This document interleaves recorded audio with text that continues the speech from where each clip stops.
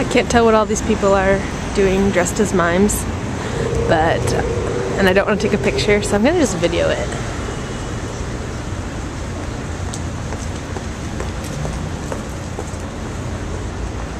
Abolition of nuclear arms.